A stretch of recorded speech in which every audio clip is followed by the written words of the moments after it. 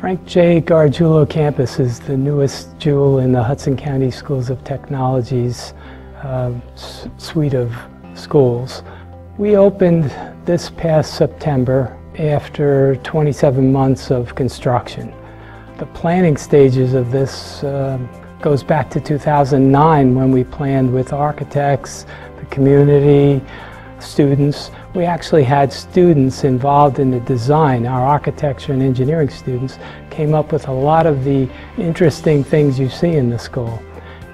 Some of the features of the school include a hydroponics lab on our rooftop that uh, our environmental science teachers utilize to grow vegetation in an atmosphere that doesn't require soil.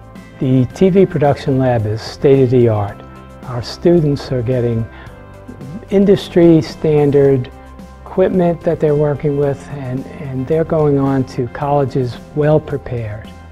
We have a very unique design and fabrication lab, two labs basically. One is wood technology and the other is metal technology.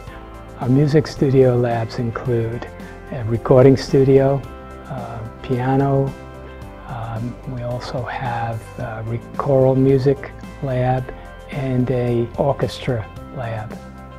We have two theaters in the building. One is a 360 seat uh, theater with a Broadway type stage and we also have a 120 seat black box theater that our drama classes utilize. What the students love about this place is its culture, the culture of the high-tech high school students. They love uh, going to school. They love the challenges that were put forward. They love the subject areas that they're involved in. The academies are also like majors in colleges, and they, they chose that to come here. So it's positive for them.